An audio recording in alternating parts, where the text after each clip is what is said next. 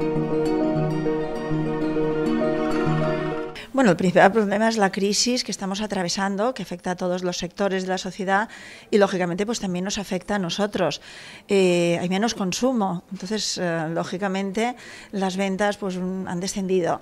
Y, el problema a veces es que, claro, los, eh, las personas que se han impuesto no comprar en estos últimos meses, pues a lo mejor tampoco vienen a las galerías. Nos gustaría que siguieran viniendo, que nos visitaran exactamente igual, vayan a comprar o no.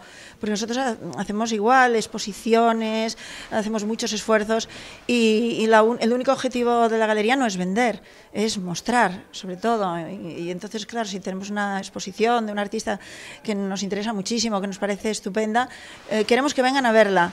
Y si compran, muy bien, y si no compran, pues bueno, pues no pasa nada en el sentido de que eh, lo entendemos, pero que vengan, por favor.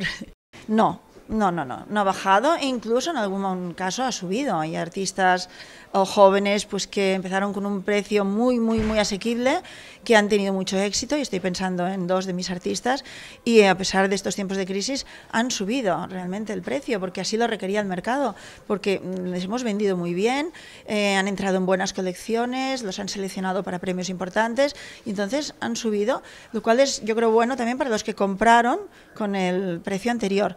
Nunca baja. El precio, puede ser que se estanque, de los más consagrados a lo mejor pues los precios mm, no han subido en estos últimos años, pero no baja. Claro que sería positivo, pero es una reivindicación que le vamos haciendo hace muchos años, 15 mm, o 20 años. O sea, no es una reivindicación ah, actual. Llevamos mucho tiempo porque hay otros países que tienen un IVA mucho más reducido que el nuestro. Y ahora que, la gente pues viaja muchísimo, a lo mejor le resulta mejor comprar en Francia o en Inglaterra que comprar en España. Y eso es una competencia pues eh, terrible para nosotros. Yo creo que toda Europa debería plantearse en los temas culturales eh, pues crear un IVA, un IVA común y estoy segura que nos beneficiaría, sería, sería muy positivo. Eh, no creo que ninguno de los partidos mayoritarios lo lleven en su programa, porque es algo que nos vienen diciendo que bueno, que sí, que lo tienen que estudiar, porque tiene que ser un tema europeo, con lo cual se va alargando y alargando. Pero bueno, ahí estamos nosotros eh, para seguir pidiéndolo y ya veremos, algún día se va a conseguir seguramente.